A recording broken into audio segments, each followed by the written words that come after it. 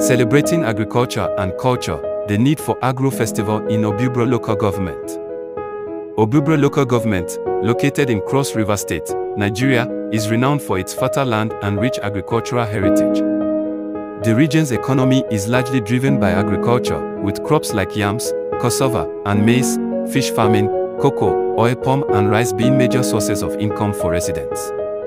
However, despite its significance, the agricultural sector in Obubra faces numerous challenges, including limited resources, inadequate market access, and declining interest among youth.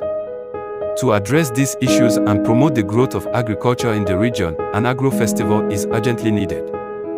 An agro festival would provide a platform for farmers, entrepreneurs, and stakeholders to come together, share ideas, and showcase their products.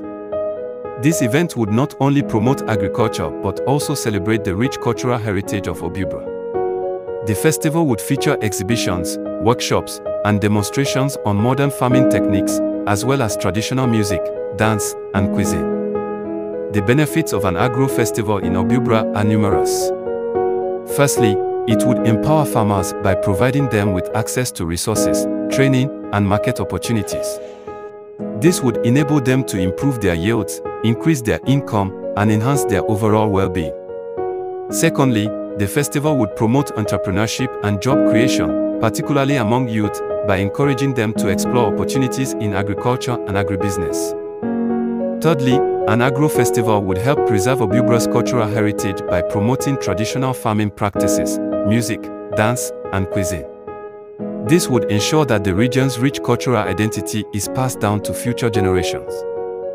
Fourthly, the festival would attract visitors and investors, boosting the local economy and promoting tourism development.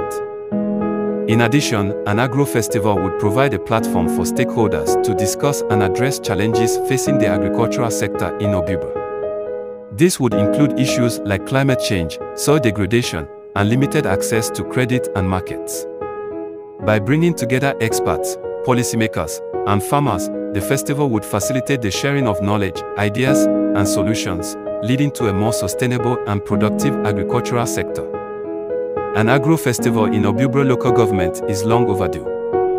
The festival would promote agriculture, empower farmers, preserve culture, and drive economic growth. It would also provide a platform for stakeholders to address challenges and explore opportunities in the agricultural sector.